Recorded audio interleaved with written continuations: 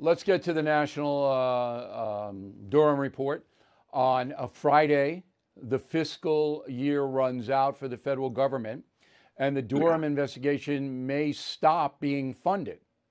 They have to um, elongate the funding because Durham's taken so long that his time is up on Friday, two days from now.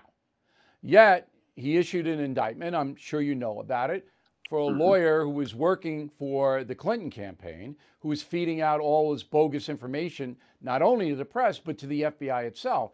This guy, Michael Sussmann, is now charged with a felony. So, how do you see this overall case? you know, it, it's aggravating it's taken so long. It doesn't surprise me. There's a lot of detail in this indictment. Uh, I'll tell you what I think this is, Bill. This is, you know, Durham is setting uh, up an individual that, um, you know, to be charged, and he brought it to the grand jury with a lot of detail to show that there was absolute manipulation in that story going into the election in 2016 about Russia and the, the, the covert connections with Trump.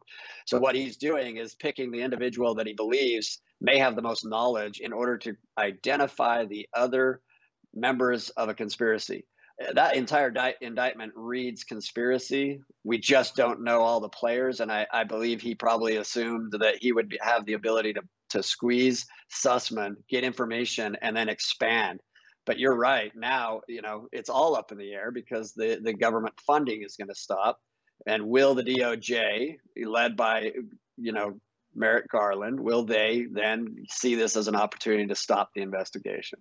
It that would be a huge scandal if they do that. So I don't expect that. Absolutely. With all the yeah, with all the trouble Biden's having on every other front, if he buries this, my assessment of the investigation, based upon the documents that I've seen, is that Hillary Clinton's campaign paid for all this false, bogus stuff against Trump and involving Russia.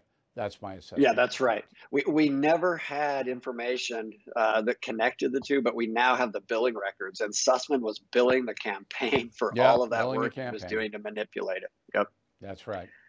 All right. So, again, the media will bury that story. We will not. Uh, Brett, just let us know when something happens or if you get any wind yep. of whether the uh, funding is going to be extended. And we are on this. Good to see you again, Brett. Thank you for Great helping to see us. you, Bill.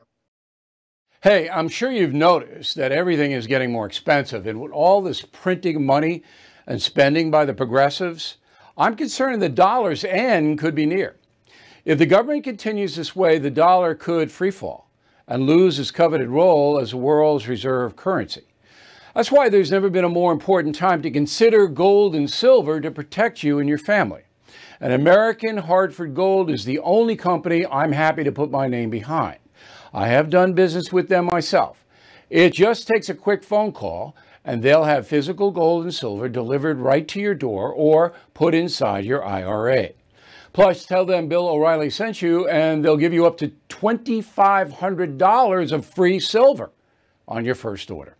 So please don't wait. Call 866 501 5201, 866 501 5201, or text Bill to 65532. Again, 866 501 5201 or text Bill to 65532.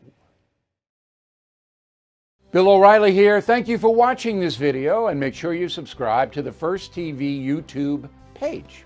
Just hit the big red subscribe button below and you'll get clips and highlights of my program, The No Spin News, every single day. We'll see you soon.